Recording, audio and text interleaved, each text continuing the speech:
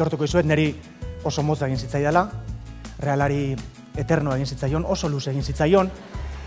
E, ze gertatu zen esplikatuko izuet, argi eta garbi, ez dakit realak ere badakien hau, baina gaur jakingo du. Nere lehenengo partidua lehen mailan debuta oso ona izan zen, egun oso neukin nuen. Baina badakizu erderaz, gaztelaniaz badago esan molde bat, un dia malo lo tiene cualquiera, nik alderantz zeukin nuen. Un dia bueno lo tiene cualquiera. Tortu dezagun, bertxolarik esate dutena inorrek ez dugu lertzen. Hori ere bai, Juan. Beira daude, eh? Bueno, ba, esan Nik imerda. uste, dut, eh, hor, egainak esan naizula, claro, emozionatu zaitezke, baino dena eman, baino eutxi behar diozu, ze oso momentu garrantzitsu izaten da hoi. Orduan, eutxi behar diozu dena gain hartu gabe. Kakalarria dakasunien bezala. Enun, enun esan nahi, baino bai.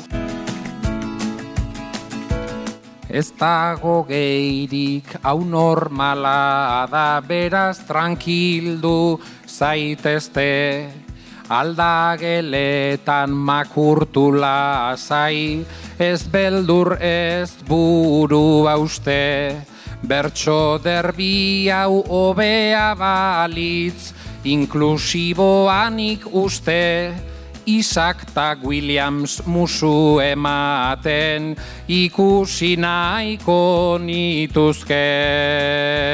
Nik izena dut Ramiro eta nator begi zabalekin.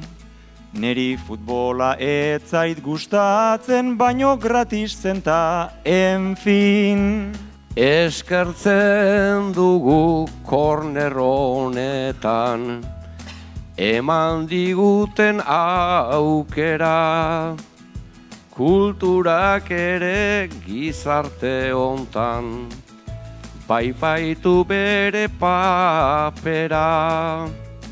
Gaurkoz adio baina zer egin, behar da gaurtik aurrera, berso zalea bildu gintezke, plaza batetik bestera, ta futbol zale baldin bazara, Sevillan bilduko gera.